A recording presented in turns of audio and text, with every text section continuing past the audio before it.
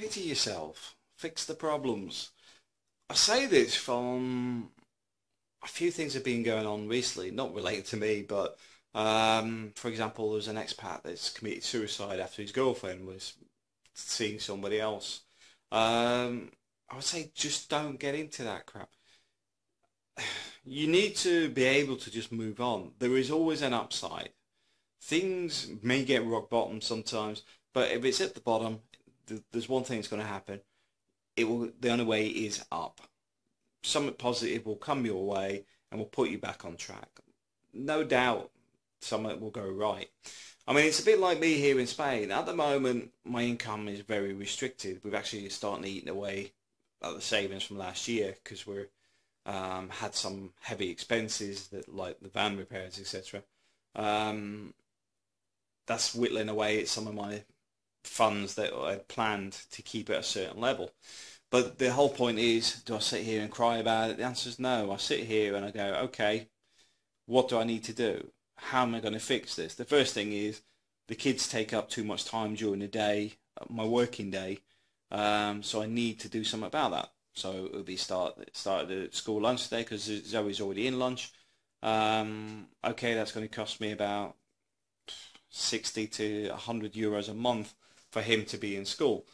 Um, but at the same time, it means instead of like going from uh, for dropping the kids off at nine, picking him up at half twelve, taking him back at three, it's now a case of I'm available from nine till I pick the kids up from school, which means I've got a proper working day.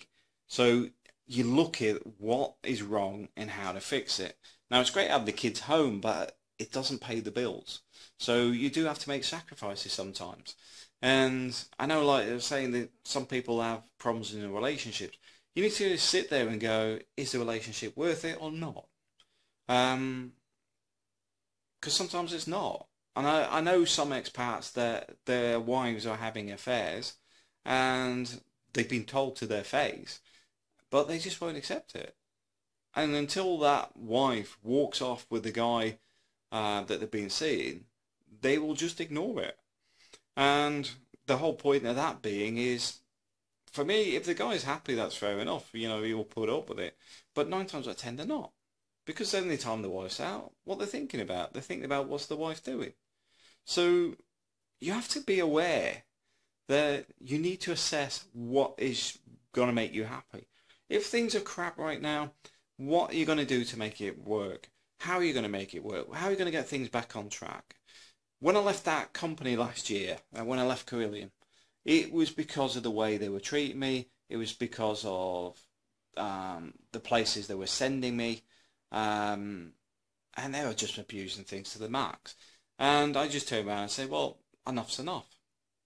Um, you've got to turn around and say, there's more to life than this crap. I'm not a slave.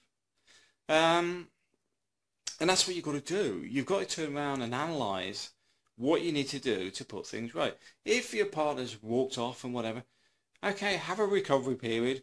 But one thing you want to do is not sit in a bottle of, of alcohol unless it's just for one day binge, just to just say right, that's it. But get up the following day and get your life back in order. Going right, I'm going to the gym. I'm going to, you know, make yourself desirable. it's as simple as that. You know, because I know a lot of guys over a period of time they get um, progressively lazy uh, because if you've already got your partner and stuff, you get into routines. So when you first met her, you were going to the gym. When you first met her, you were doing this, da da. da. But over a period of time, you're just like, oh, I can't bother to go to the gym anymore. I don't know. So you put on a bit of weight. You start going to the pub with the, your mates and stuff. Um, but if you get yourself back into shape, it's not. See, the other thing is, it's not about um, making yourself. Um, well, it's sort of more desirable for another for meeting another person, but it's more about your own personal well-being because if you're feeling happy and fit and etc., um, you feel better about yourself, and all these things have a positive outcome. And that's why I say, you know, if you you're feeling down or whatever, get yourself back up, back up, kick yourself up the backside, and just write it off as experience. All right, thanks for watching. Yeah.